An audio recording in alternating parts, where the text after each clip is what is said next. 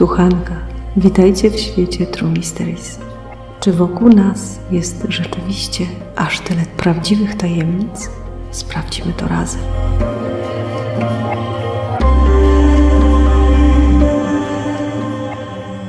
Był październik 1952 roku, kiedy Mori Bernstein, który fascynował się hipnozą, postanowił spróbować swoich sił na przyjęciu.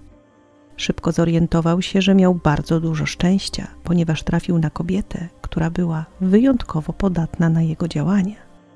Jej prawdziwe nazwisko na samym początku wielkiej sławy całej tej historii nie było podawane. Mówiono o niej jako o Ruth Simmons, chociaż później było już jasne, że nazywała się Virginia Tai. Zapalonemu hipnotyzerowi od razu rzuciła się w oczy, bo wyjątkowo łatwo dawała się wprowadzić w stan, który tak go fascynował. Na szczęście młoda gospodyni domowa najwyraźniej również była zafascynowana faktem, że ma tak szczególną skłonność i postanowiła współpracować z mężczyzną, który zresztą na co dzień był biznesmenem. Mori, który mieszkał wówczas w Colorado w Stanach, zaprosił kobietę na seans, na który przybył także jej mąż. Wydaje się, że Virginia miała również swoje prywatne cele. Chciała prześwietlić dotychczasowe życie, ponieważ uważała, że pewne jej stany i zachowania mogą wynikać z przeżyć z dzieciństwa, których nie pamięta, a ich wydobycie z mroków niepamięci mogłoby pomóc jej zmierzyć się z obecnym życiem. Początkowo wszystko wyglądało standardowo. Kobieta rzeczywiście szybko się zrelaksowała i zapadła w trans. Bez problemu cofnęła się do swojego dzieciństwa, które przypadło na koniec lat dwudziestych. Spędziła je na środkowym zachodzie. Ponieważ hipnotyzerowi dobrze szło, pracował dalej, aż do momentu, gdy oddech Virginii nagle stał się zupełnie inny, ciężki, szybki. Wydawało się, że kobieta bardzo się zdenerwowała. Nagle jej głos zaczął brzmieć zupełnie inaczej. Zmienił się również akcent na wyraźnie irlandzki. Kobieta powiedziała, że nazywa się Brady Murphy. Zdezorientowany badacz próbował naprowadzić ją na jakąś chwilę, która pozwoliłaby wyjaśnić te przemiany, ale ona stanowczo stwierdziła, że ma na imię Bridget i to właśnie od tego imienia pochodzi skrót, który przed chwilą poznaliście. Oświadczyła, że ma młodszego brata Duncana. Na pytanie, czy może siebie opisać, bez problemu podkreśliła, że charakterystyczną cechą jej i brata są rude włosy. Hipnotyzer nie rozumiał, co się dzieje, ponieważ Virginia nigdy nie była w Irlandii i dobrze o tym wiedział. Nie kojarzył też, by miała takie korzenie. Według jego wiedzy całe życie spędziła w Stanach i nie miała rudych włosów ani brata o tym imieniu. Z jednej strony wydawało się, że mówi o sobie, ale z drugiej nic o czym opowiadała nie pasowało do jej życiorysu. Zszokowany mąż słuchał, jak żona stanowczo stwierdza, że mieszka w Cork, i uczy się u pani Strain. Kobieta zorientowała się, że hipnotyzer ma jakieś wątpliwości co do tego, o czym mówi, dlatego postanowiła udowodnić mu irlandzką duszę i odtańczyła taniec ludowy z tego regionu. Kompletnie zszokowany hipnotyzer musiał potem przyznać, że wykonała go bardzo sprawnie i zwinnie. Nie miała żadnych wątpliwości co do tego, jak powinna wyglądać choreografia.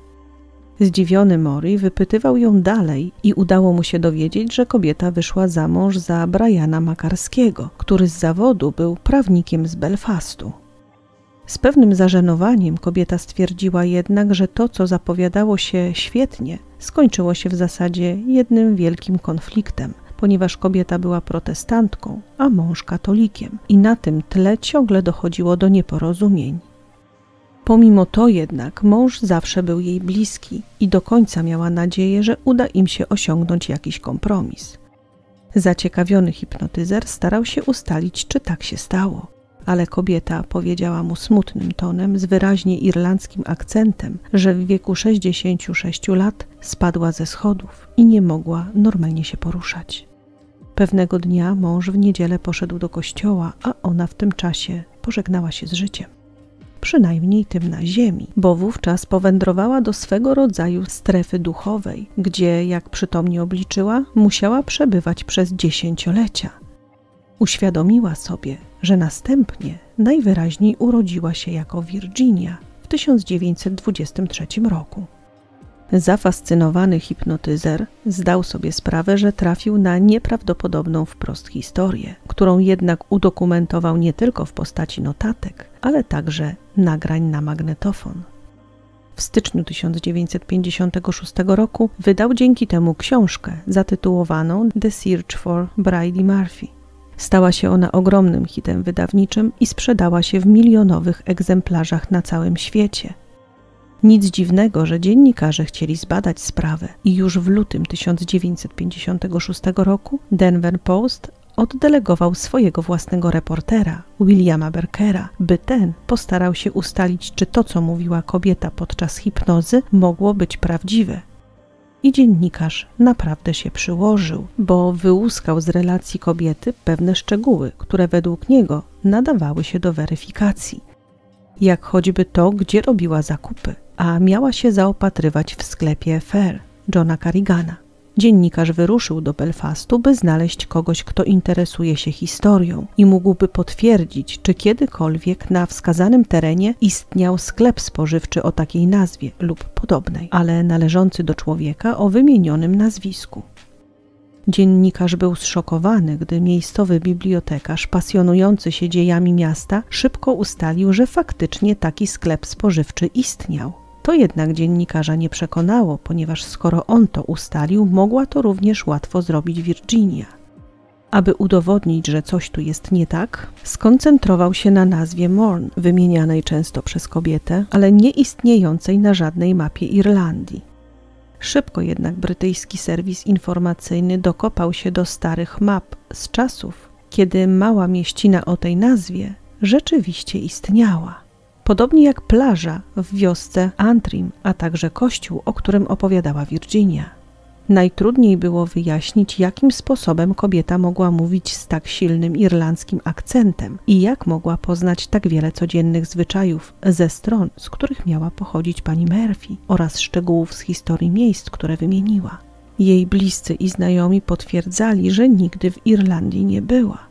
Nie muszę oczywiście mówić, że nie były to czasy internetu, kiedy można było sobie wpisać w Google cokolwiek i znaleźć właściwie każdą żądaną informację. Poznanie tak głęboko dziejów danego regionu wymagałoby długich studiów w bibliotece, a tego rodzaju hobby Virginii osoby na co dzień z nią żyjące nie zauważyły. Nie mówiąc już o tym, że nie bardzo było wiadomo, w jakim celu miałaby to wszystko udawać, bo przecież to nie ona napisała książkę, a na dodatek początkowo nie występowała nawet pod swoim nazwiskiem. Trudno więc było tu mówić o chęci uzyskania sławy czy pieniędzy. Pani Murphy, jak udało się ustalić dziennikarzowi, musiałaby żyć w Irlandii gdzieś w latach 1800-1860, ale nie udało się ustalić, kiedy dokładnie się urodziła i czy w ogóle ktoś taki w tamtym czasie przyszedł na świat. Przypadek kobiety zupełnie niechcący cofniętej w czasie nieco za daleko, oczywiście w swoich wspomnieniach, poruszył dosłownie cały świat zaczęto mówić głośno o możliwości reinkarnacji, gdyż nie udało się udowodnić, że kobieta była oszustką. Sądzono, że faktycznie kiedyś żyła w Irlandii, a potem przyszła na świat niejako ponownie w Stanach Zjednoczonych. Oczywiście tego rodzaju pomysł dla wielu był naprawdę szokujący i ludzie często starali się znaleźć inne wyjaśnienie, zupełnie odrzucając reinkarnację. W końcu wymyślono, że być może Virginia gdzieś w swoim dzieciństwie musiała usłyszeć opowieści kogoś znajomego czy jakiejś dalekiej rodziny właśnie o życiu w Irlandii. Zafascynowała się akcentem, być może była świadkiem tego, jak ktoś pod nosem czytał jakąś książkę o Irlandii czy po irlandzku i te wspomnienia nagle zostały wyciągnięte podczas hipnozy. Takie zjawisko kojarzy się z kryptomnezją, Należy to wiązać z informacją głęboko ukrytą w pamięci osoby, która na co dzień nie odwołuje się do danych chwil z przeszłości, czy konkretnie z dzieciństwa, co nie znaczy jednak, że ich nie przechowuje. Jest teoria, która mówi, że wszystko, co przeżyliśmy, usłyszeliśmy, zaobserwowaliśmy, pozostaje już na zawsze zapisane w naszym mózgu, tylko najczęściej jest to dla nas niedostępne. Osoby bardzo podatne na hipnozę mogą jednak dotrzeć do tych wspomnień. Amerykański reporter z Chicago ustalił ponoć, że kiedyś naprzeciwko domu Virginii mieszkała pewna irlandzka imigrantka, Brady Murphy Corkel. Najwyraźniej ślad po tej relacji pozostał w pamięci Virginii, która jednak świadomie nie była w stanie przypomnieć sobie takiej znajomości. Inna teoria mówiła o tym, że mógł to być bardzo specyficzny kolaż różnego typu informacji, wspomnień, ale także wyobrażeń, bo Virginia w dzieciństwie często pozostawała pod opieką norweskiego wujka i ciotki, która miała pochodzenie irlandzko-szkocko-niemieckie. Niektóre źródła mówią nawet, że była wychowywana przez tę parę. Być może wspomnienia rodzinne, ale także pochodzące od sąsiadki, również z książek czy innych źródeł, złożyły się na fascynującą osobowość i historię życia pani Murphy. Ale po dziś dzień wielu badaczy tej sprawy uważa, że jest to naciągane wyjaśnienie, ponieważ kobieta opowiadała o konkretnych scenach z życia, które pamiętała w najdrobniejszych szczegółach, a one nie odpowiadają ani biografii ciotki, ani też sąsiadki. Wydaje się, jakby Britney rzeczywiście mieszkała gdzieś koło kościoła w irlandzkim miasteczku z katolickim mężem, z którym często się sprzeczała. Jednak ten wniosek oczywiście nie mógł przypaść do gustu tym, którzy od początku byli sceptyczni i postanowili sprawdzić, na ile rzetelna jest książka. Oczywiście nie oni pierwsi, bo wcześniej robili to już także dziennikarze ale ustalono, że gdyby wczytać się w szczegóły, należałoby przyjąć, że pani Murphy urodziła się 20 grudnia 1798 roku i żyła do 1864 roku. Mieszkałaby w drewnianym domku The Meadows w pobliżu Cork. Problem tylko w tym, że w XIX wieku większość domów w Irlandii była budowana z kamienia ewentualnie cegły, więc było bardzo mało prawdopodobne, by w tamtych stronach ktoś wpadł na ekscentryczny pomysł postawienia domu drewnianego. Virginia imię swojego męża z poprzedniego wcielenia wymawiała jako Sin, twierdząc, że w pisowni wyglądało to jak Sean, a jeśli tak, to Irlandczycy wymawialiby to Sean. Tenże mąż miał pracować na pobliskim uniwersytecie, czyli najprawdopodobniej tym imienia królowej w Belfaście. Tego jednak nie było w czasie, gdy mężczyzna mógłby być tam zatrudniony. Kościół, do którego uczęszczał mąż kobiety, miał nosić imię świętej Teresy. Tyle tylko, że został zbudowany w 1911 roku, a więc teoretycznie już po tym, gdy pani Murphy odeszła na zawsze. Nie wolno jednak zapominać, że faktycznie opisała wiele zwyczajów, scen i wydarzeń, które idealnie przystawały do życia w Irlandii XIX wieku. Virginii bardzo trudno byłoby dotrzeć do opisu wybrzeża, który był bardzo dokładny, precyzyjny i trafny. Jak pamiętacie, odnaleziono również w historii Irlandii mały sklepik spożywczy o nazwie Far. Wydawało się więc, że teoria o uśpionych, zamrożonych wspomnieniach jest tylko jednym z wielu rozwiązań, ale jeden z reporterów trafił na jego zdaniem decydujący argument. W książce owszem autor wspominał o wujku i ciotce, ale sprytnie ominął wątek biologicznych rodziców dziewczyny, którzy byli częściowo Irlandczykami, a dziewczynka mieszkała z nimi na stałe do trzeciego roku życia, czego być może oczywiście nie pamiętała, a przynajmniej wspomnienia nie wracały do niej na co dzień. Jednak w podświadomości rzeczywiście mogły być przechowywane. Tak więc dla jednych kryptomnezja i to ostateczne wyjaśnienie całej tej historii. Dla innych jest to tylko jedna z możliwości, która nie wyjaśnia wszystkiego. Na podstawie książki powstał film The Search for Bridie Murphy w 1956 roku. Sam hipnotyzer najwyraźniej nie spodziewał się tego, co go spotkało i nadmiar wrażeń chyba go przytłoczył, bo po napisaniu książki postanowił zamknąć ten rozdział życia, ten oczywiście związany z wprowadzaniem w trans innych osób. Zaangażował się w biznes, a gdy odchodził, jego nazwisko było głośne w Colorado. Wymawiano je jednak przy zupełnie innych okazjach, a mianowicie wspominając różnego typu inicjatywy charytatywne, które często wspomagał. Nie wiadomo było, czy teoria kryptomnezji go przekonała, ale wiele osób do dziś sądzi, że wprawdzie dziennikarskie śledztwa przyniosły pewne potencjalne rozwiązania czy odpowiedzi, ale nie dowiodły, że historia opowiedziana przez zahipnotyzowaną Virginię nie mogła być prawdziwa. Sama kobieta nie paliła się do tego, by opowiadać się po którejkolwiek ze stron. Nie miała pojęcia, czy to, co mówiła w trakcie seansu, mogło być wspomnieniami z jej poprzedniego życia, czy tylko jakimś montażem scen, które w różnej formie przewijały się w jej dzieciństwie. Co prawda w 1966 roku przyznała, że im jest starsza, tym bardziej chce wierzyć, że ma jeszcze szansę narodzić się po raz kolejny. Ale czy w ogóle istnieje taka możliwość? Nie miała pojęcia. Kobieta zakończyła życie w Denver w 1995 roku. Dodam jeszcze jako ciekawostkę, że cała historia pani Murphy spowodowała dosłownie lawinę różnego typu wydarzeń popkulturowych i towarzyskich.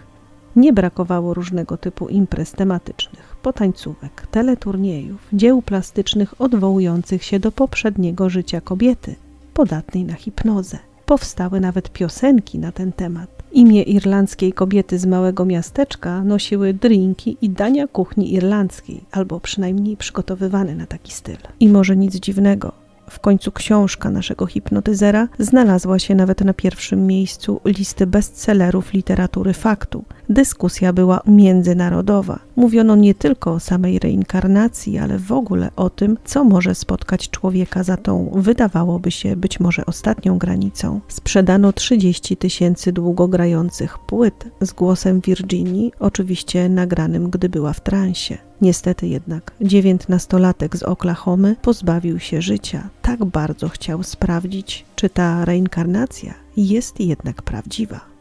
Jeśli wciąż myślicie o kryptomnezji, to dodam jeszcze, że jest ona bardziej prawdopodobna, gdy ludzie nie potrafią sobie przypomnieć źródła jakiejś wiedzy, pomysłu czy opowieści, ale w jakiś sposób sama idea jest im bliska gdy są na dodatek zestresowani, znajdują się w dziwnym położeniu, na przykład są pod presją, stają się skłonni do fałszywego uznania pomysłów i przeżyć zupełnie nie swoich za własne. Nieumyślny plagiat na przykład jest bardziej prawdopodobny, gdy autor pomysłu zniknął już z życia danej osoby. Jeśli nie pamięta się jego, to tym bardziej jego pomysłów. Ale co ciekawe, wystarczy zaakcentować, że w danej chwili autorstwo dzieła czy pomysłu będzie szczególnie istotne, a ryzyko plagiatu zmniejsza się. W innych badaniach stwierdzono, że czas pojawienia się pomysłu jest równie ważny. Jeśli na przykład przygotowujemy się do wypowiedzi na jakiś temat, w czasie, gdy ktoś inny wpadnie na kluczowy pomysł, to po pewnym czasie możemy go uznać za własny, bo jesteśmy tak skupieni na przygotowaniu się do jakiejś wypowiedzi, że wszystko to, co wymyślone w tym czasie, jesteśmy w stanie przypisać sobie. Oczywiście kryptomnezja to szeroki temat i nas może dziś bardziej interesują sytuacje, gdy zapomniane wspomnienia powracają, ale dana osoba nie potrafi wskazać skąd się wzięły. Traktuje je więc automatycznie jako własne, realne przeżycia. Są to po prostu błędy pamięci. Dajcie znać, czy coś takiego Wam się przydarzyło. Nie mogę się doczekać tych historii, bo czuję, że będą niesamowite. A teraz już dziękuję Wam bardzo serdecznie za wszystkie łapki w górę, subskrypcje, właśnie za super ciekawe komentarze i zapraszam na kanał True Crime. Zawsze bardzo miło mi Was tam gościć buziaki dla moich patronów, a jeśli chcecie dołączyć do ich grona, bo podoba Wam się to, co robię, to wszystkie potrzebne informacje w opisie. Dokładnie to link na Patronite, a tam już zobaczycie o co chodzi. Buziaki i do usłyszenia.